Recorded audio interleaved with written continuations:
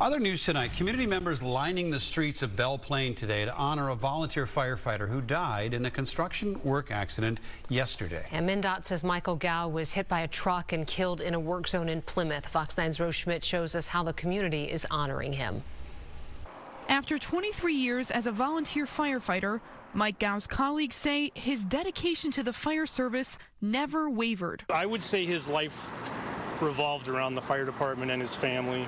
Uh, he, he, was always here. Retired and current Belle Plaine firefighters are remembering the 54 year old as a lieutenant, a father, and the person they'd want next to them on a call. I mean, we're grieving, but um, step on that truck tomorrow because that's what he'd want us to do. Also a MnDOT employee, Mike was killed Wednesday evening around 5:30 in Plymouth after he was hit by a truck.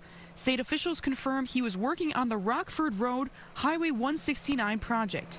You know, we're just going to remember all the good things that Mike did, and um, it's going to take a while to heal. Healing Thursday came in the form of flags waved and ladders raised to welcome Mike home. Community members and neighboring departments lined the procession route from Minnetonka to his beloved city of Belle Plaine. Well, it just shows uh, the respect the town has for our firefighters and also for Mike. His longtime friends want people to know he always showed up to community events and was the first person to jump in when someone needed help.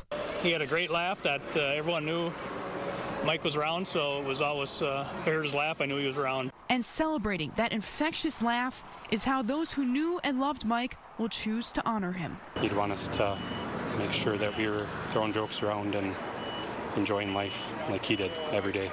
As the community here in Belle Plaine grieves, MnDOT tells us it immediately notified the proper authorities and the work zone incident is being investigated. Reporting in Belle Plaine, Rose Schmidt, Fox 9.